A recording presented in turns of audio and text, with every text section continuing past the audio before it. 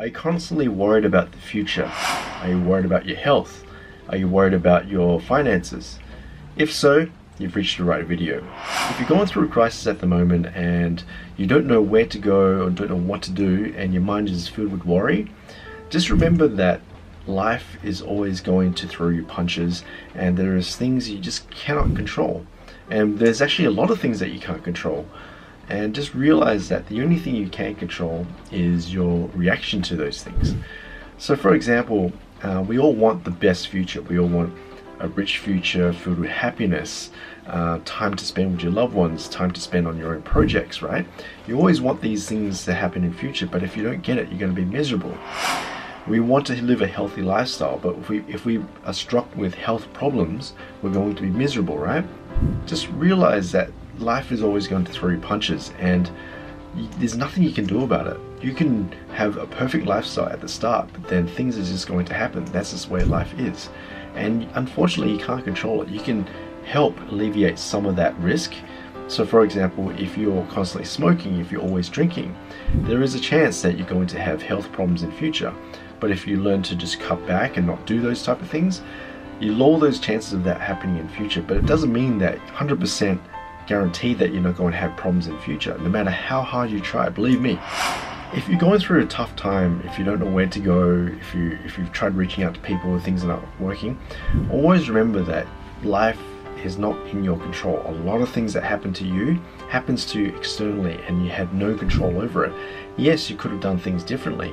Yes, you could have uh, walked down a different type of street, or yes, you could have you know, not done that thing in the past that has led to this situation right now, right? Yeah, those are the things that could have happened, but there's a lot of probability that if you did something else, something else could have happened. So it's impossible for you to predict the perfect future. So how do you stay grounded in these type of situations? No matter how much chaos you're going through, no matter how much problems you're having at the moment, always remember that things are happening to you and that's not within your control. You can't control what people say about you. You can't control what people think of you. You have zero control over that. If you're working in a job, you could be doing a great thing, you could be a great worker, but then they decide to make your department redundant. That's not in your control. If you drive down the street, you're driving carefully on the road, but then there's a car accident coming up ahead, that's not in your control. There's a lot of things that will happen to you. So it's important to just realize that um, you can get lost in the sea of chaos. You can blame things on yourself, you can blame things um, that you should have done.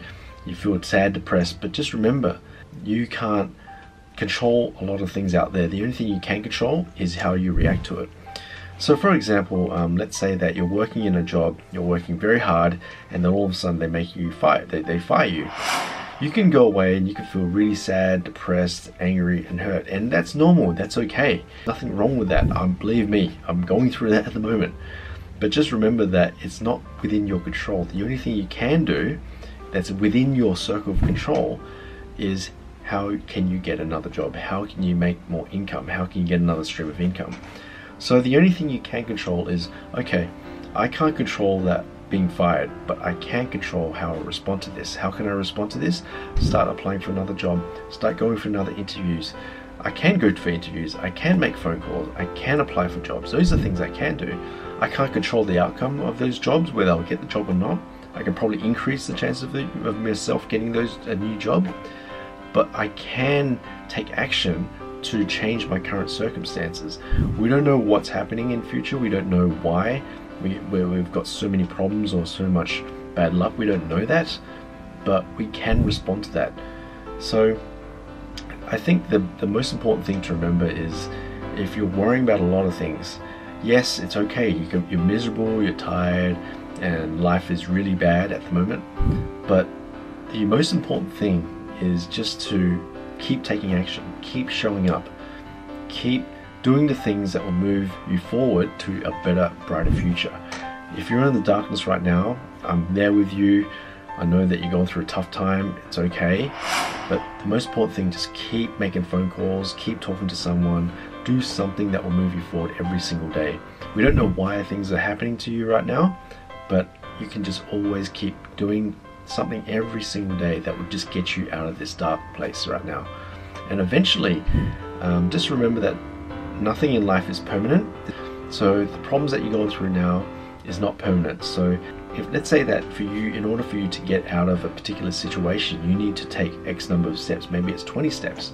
You need to make phone calls, book an appointment. You need to see a doctor. You need to see a second meeting. You need to see another doctor.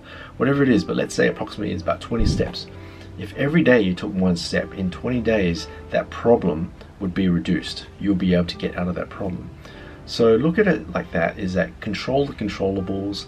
Yes, there's a lot of things that you're uncertain at the moment, but the only thing you can control right now in this particular time is what you do right now. How do you respond?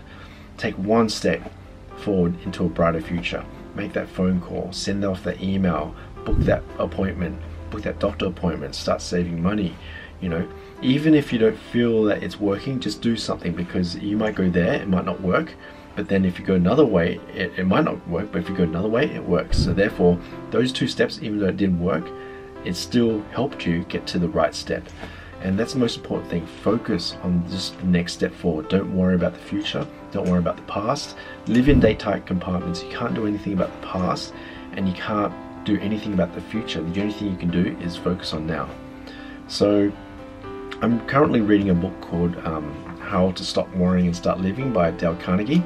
Uh, this is the second time I'm reading this book because uh, last time I read this book probably about 10 years ago or something. I read this book 10 years ago when I was going through a lot of struggles. You can see all the, you can see all the, uh, all my notes there. I just highlight everything, you know. Uh, it's a great book by Dale Carnegie. Highly recommend for you to check it out. Uh, but yeah, it talks a lot about the different techniques in which you can manage worry and this is face facts. You know, you can't stop worrying. It's very, very hard to stop worrying. And if you're still worrying, that's okay. But the only thing you can do is just to take action every single day, and then eventually you'll get out of this darkness, this tunnel of darkness, and eventually reach to the light. So uh, I don't know whether this video is going to help you or not. I hope it does. Um, and please reach out to me if you've got any uh, got any comments or some suggestions, whatever it is. I'm keen to hear about your thoughts and feedback and uh, let me know and I'll see you guys in the next one. Cheers.